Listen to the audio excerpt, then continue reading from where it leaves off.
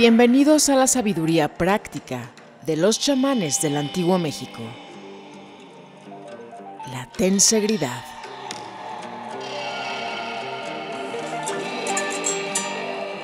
Del libro Pases Mágicos, escrito por Carlos Castaneda.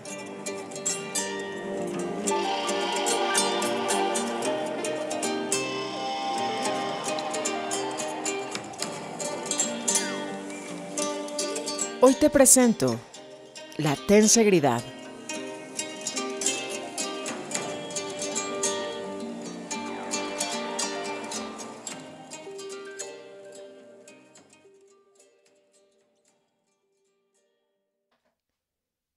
Tensegridad es la versión moderna de los pases mágicos de los chamanes del antiguo México.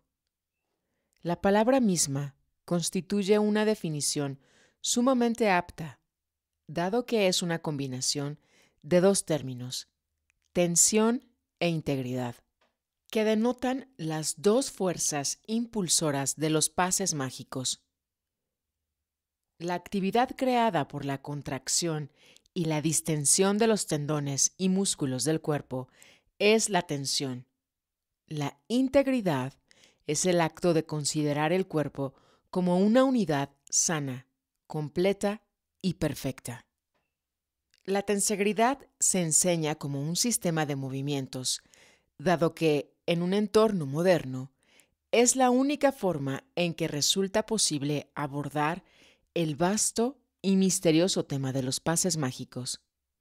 En la actualidad, quienes practican la tensegridad no son chamanes en busca de alternativas chamánicas que impliquen disciplina rigurosa, esfuerzos y penurias. Por lo tanto, el énfasis de los pases mágicos deberá ponerse en su valor como movimientos y en todas las consecuencias que esos movimientos ofrecen al practicante. Don Juan Matus me había explicado que el primer impulso de los brujos de su linaje, que vivieron en México en la antigüedad, en lo que a pases mágicos se refiere, era saturarse de movimiento, con todas las posturas y movimientos del cuerpo que podía recordar, formaron grupos. Creían que cuanto más extenso fuera un grupo, tanto mayor sería su efecto de saturación y tanto mayor la necesidad del practicante de recurrir a su memoria para recordarlos. Una vez organizados los pases mágicos en extensos grupos y practicados como secuencias, los brujos del linaje de Don Juan consideraron que este criterio de saturación había cumplido su propósito y lo dejaron de lado. A partir de ese momento, lo que se buscó fue exactamente lo contrario, la fragmentación de los grupos extensos en segmentos individuales que pudieran ser practicados como unidades independientes. La forma en que don Juan Matus enseñó los pases mágicos a sus cuatro discípulos, Taisha Velar, Florinda Donnergrau, Carol Tix y yo, fue producto de ese impulso hacia la fragmentación. La opinión personal de don Juan era que el beneficio de practicar los grupos extensos resultaba obvio. Ese tipo de ejercitación obligaba a los chamanes iniciados a utilizar su memoria sinestésica. Consideraba que el uso de la memoria sinestésica aportaba un beneficio concreto, que aquellos chamanes habían descubierto accidentalmente y que tenía el maravilloso efecto de anular el ruido de la mente, el diálogo interior. Don Juan me había explicado que el modo en que reforzamos nuestra percepción del mundo y la mantenemos fijada en cierto nivel de eficiencia y funcionamiento es hablando con nosotros mismos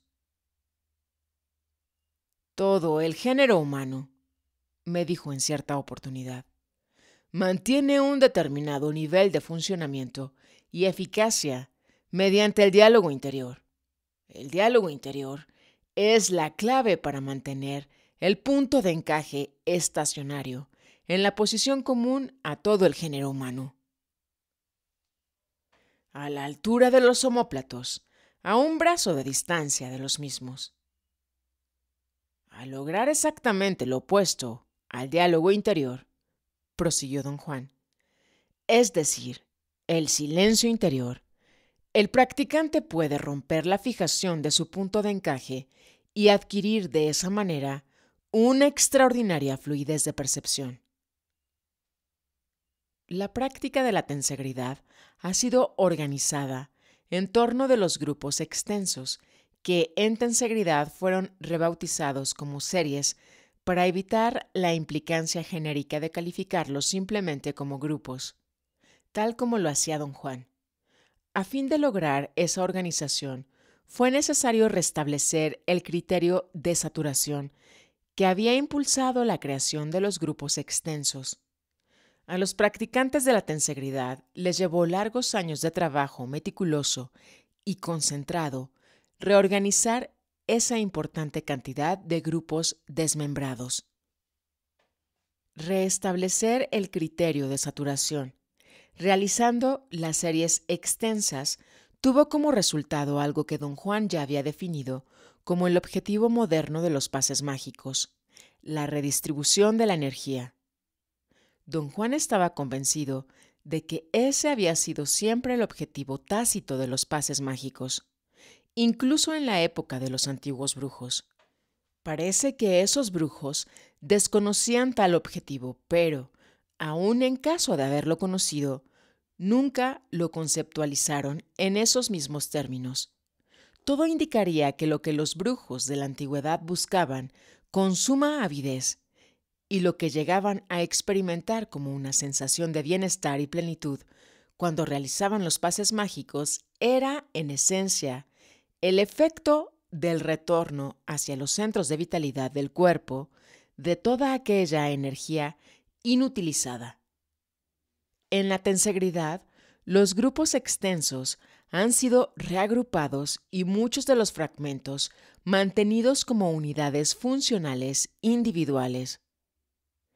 Esas unidades fueron enhebradas según un propósito determinado.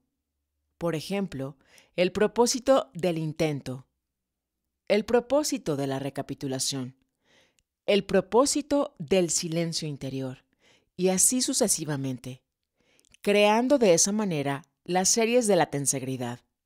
De este modo, se ha logrado un sistema en el cual se buscan los mejores resultados ejecutando largas secuencias de movimientos que sin duda exigen un esfuerzo de la memoria sinestésica del practicante.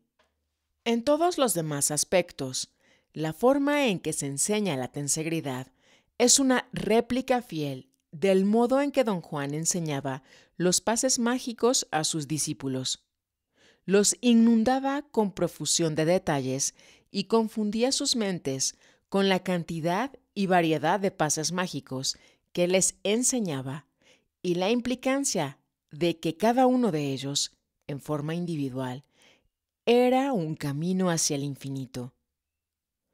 Sus discípulos pasaron años abrumados, confundidos y sobre todo desalentados, porque sentían que esa profusión constituía un ataque injusto. Cuando te enseño los pases mágicos, me explicó una vez en que lo interrogué sobre el tema, estoy siguiendo el método tradicional de los brujos de nublar tu visión lineal.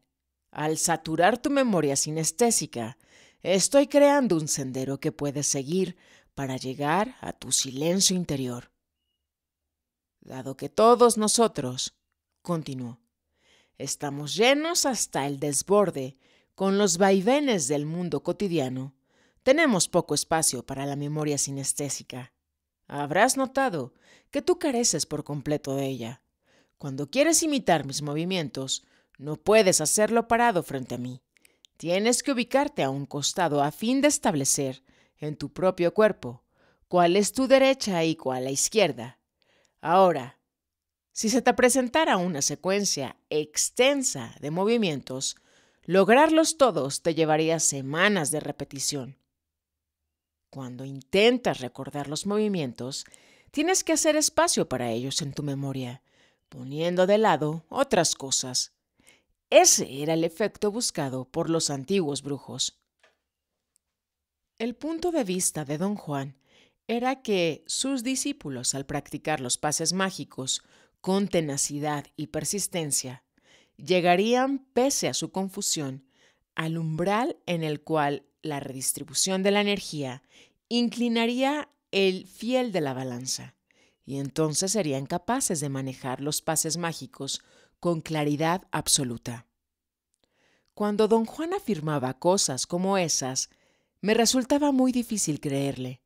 Sin embargo, en un momento dado, tal como él había dicho, dejé de sentirme confundido y desalentado. De manera muy misteriosa, los pases mágicos, dado que son mágicos, se fueron acomodando en secuencias que clarificaba todo. Don Juan me explicó que la claridad que estaba sintiendo era el resultado de la redistribución de mi energía. La preocupación de quienes hoy en día practican la tensegridad es igual a la preocupación que sentimos los demás discípulos de don Juan y yo mismo cuando apenas empezábamos a practicar los pases mágicos. Se sienten abrumados por la cantidad de movimientos. Yo les repito lo que don Juan me dijo a mí una vez y otra vez. Lo fundamental es practicar lo que se recuerde de cada secuencia de tensegridad. La saturación que se produce permitirá lograr al final los resultados buscados por los chamanes del antiguo México, la redistribución de la energía y sus tres efectos concomitantes. La desconexión del diálogo interior, la posibilidad del silencio interior y la fluidez del punto de encaje. A título de evaluación personal, puedo afirmar que al saturarme con los pases mágicos, don Juan alcanzó dos logros formidables. Primero, hizo emerger una cantidad de recursos ocultos que yo tenía, pero cuya existencia ignoraba, como por ejemplo la capacidad de concentración y la habilidad para recordar detalles. Y segundo, poco a poco fue rompiendo mi obsesión con mi forma de interpretación lineal. Lo que te sucede, me explicó don Juan cuando lo interrogué respecto a lo que yo sentía, es que estás sintiendo el advenimiento del silencio interior, una vez que tu diálogo interior ha sido silenciado, aunque sea en grado mínimo. Un nuevo flujo de cosas ha comenzado a ingresar en tu campo de percepción.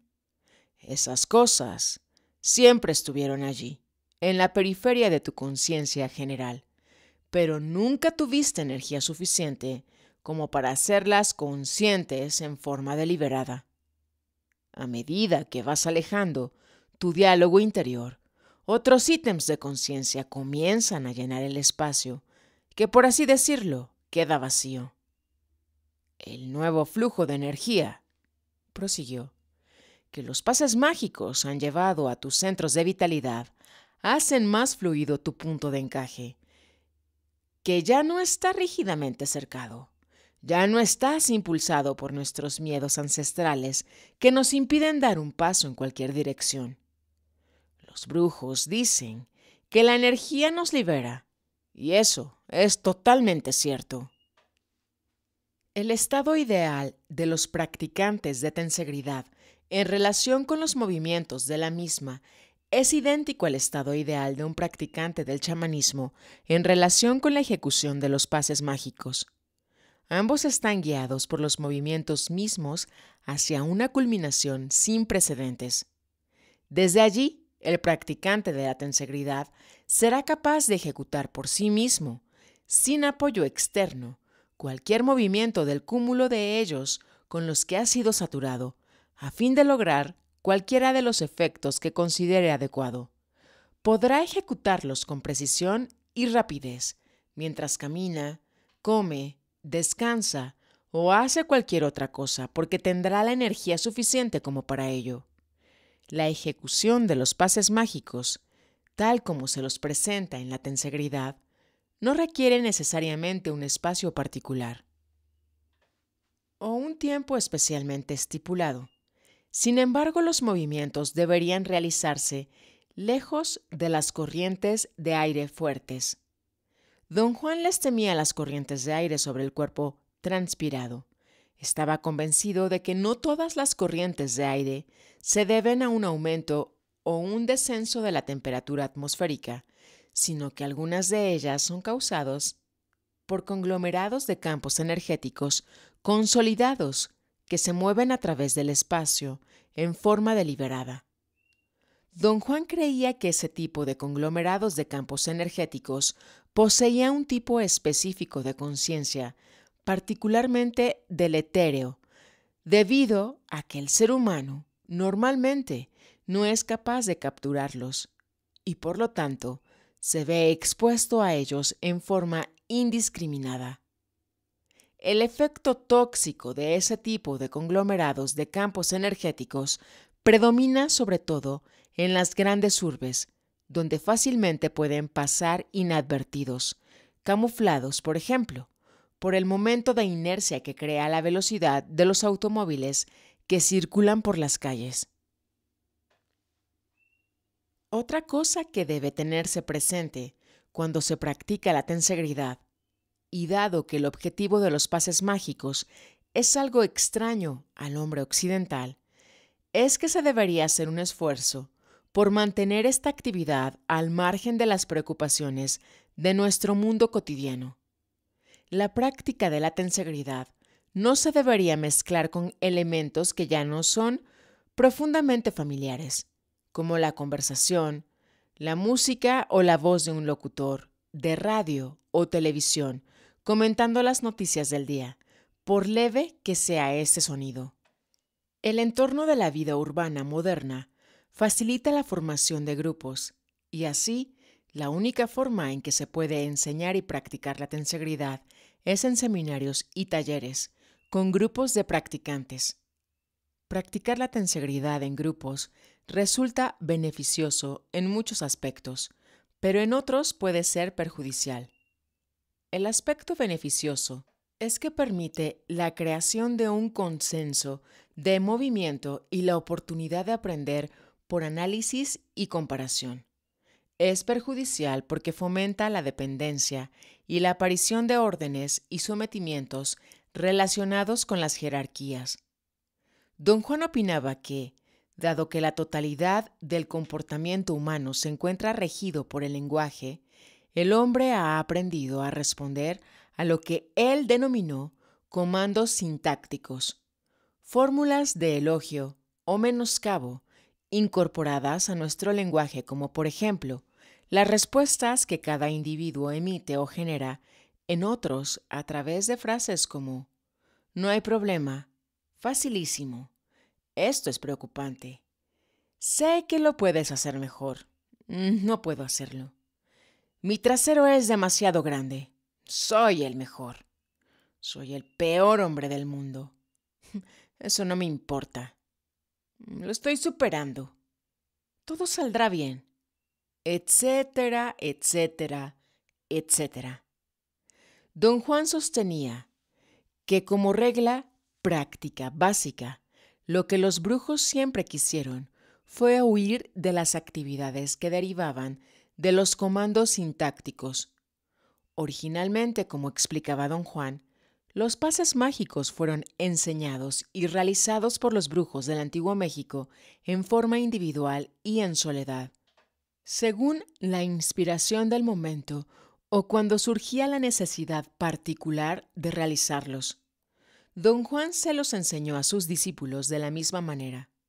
Afirmaba que para el practicante chamán el gran desafío al poner en práctica los pases mágicos siempre había sido ejecutarlos a la perfección, manteniendo en la mente solo la visión abstracta de esa ejecución perfecta. Lo ideal es que la tensegridad sea enseñada y practicada con ese mismo espíritu de perfección. Sin embargo, las condiciones que nos impone la vida moderna y el hecho de que el objetivo de los pases mágicos haya sido formulado como para adecuarse a muchas personas diferentes, hacen imprescindible un nuevo enfoque. La tensegridad debería ser practicada en la forma que más fácil y cómoda resulta a los practicantes, en grupos, en forma individual o en ambas formas. En mi caso particular, la práctica de la tensegridad en grupos muy grandes ha resultado más que ideal, dado que me brindó la maravillosa oportunidad de vivir algo que don Juan Matus y todos los brujos de su linaje jamás vivieron, los efectos de la masa humana. Don Juan y todos los chamanes de su linaje, que él consideraba que abarcaban 27 generaciones, nunca tuvieron oportunidad de ver los efectos de los pases mágicos en una masa humana. Siempre los realizaban solos o en grupos de hasta cinco practicantes. Para ellos, los pases mágicos eran algo eminentemente individualista. Cuando son cientos los que practican la tensegridad en forma conjunta, se forma entre ellos de manera casi instantánea una corriente energética. Esa corriente energética, que un chamán podría ver con toda facilidad, genera en los practicantes una sensación de urgencia. Es como un viento vibratorio que corre a través de ellos y les confiere los elementos primarios del propósito. Yo tuve el privilegio de ver algo que consideré como realmente portentoso, el despertar del propósito, la base energética del hombre. Don Juan Matus solía denominarlo el intento inflexible. Me enseñó que el intento inflexible es la herramienta esencial para quienes viajan hacia lo desconocido. Un tema muy importante que ha de tenerse en cuenta al practicar la tensegridad es que los movimientos deben ser ejecutados con la idea de que el beneficio de los pases mágicos llega por sí mismo.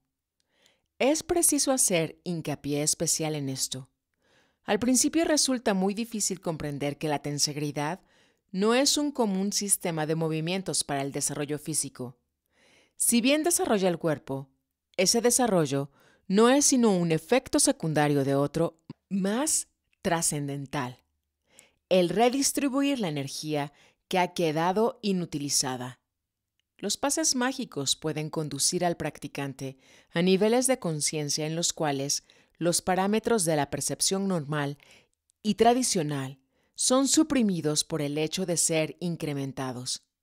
Así, el practicante puede lograr incluso ingresar en mundos inimaginables. Pero, ¿por qué habría yo de querer ingresar en esos mundos? Le pregunté a don Juan cuando me describió esa consecuencia de los pases mágicos.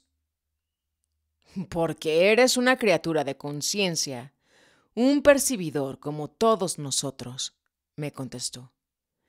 El hombre se encuentra en un viaje de la conciencia, momentáneamente interrumpido por fuerzas extrañas. Tienes que creerme.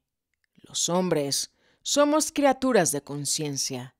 Si no tenemos esa convicción, no tenemos nada siguió explicando que el ser humano, desde el momento en que su viaje de la conciencia se vio interrumpido, ha quedado atrapado en un remolino y da vueltas y más vueltas, con la sensación de moverse con la corriente, pero lo cierto es que permanece quieto. Hazme caso, prosiguió don Juan, porque las mías no son afirmaciones arbitrarias. Mi palabra es el resultado de comprobar personalmente lo que los brujos del antiguo México habían descubierto, que los seres humanos somos seres mágicos. Me ha llevado 30 años de dura disciplina llegar al nivel cognitivo en el cual las afirmaciones de don Juan son reconocibles como verdaderas y su validez queda establecida sin lugar a dudas. Ahora sé que el ser humano es una criatura de conciencia, implicado evolutivamente en un viaje de la conciencia, un ser que no se conoce a sí mismo y desbordante de recursos increíbles que jamás utiliza.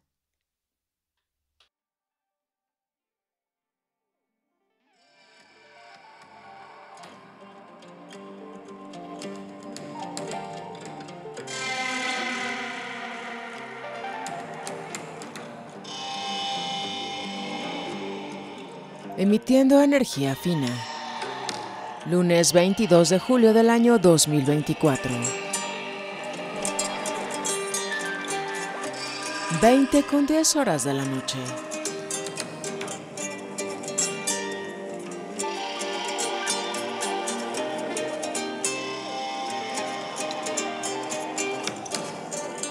Leyendo en vivo desde el eje neovolcánico, Cholula, Puebla, México, hemisferio norte de América, planeta azul, planeta Tierra,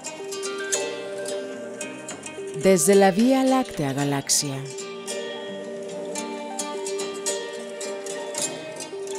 Vamos en un viaje de conciencia.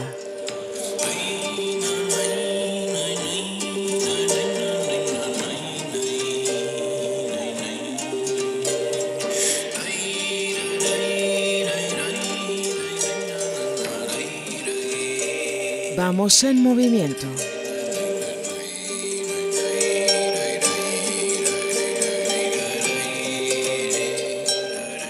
En una danza cósmica.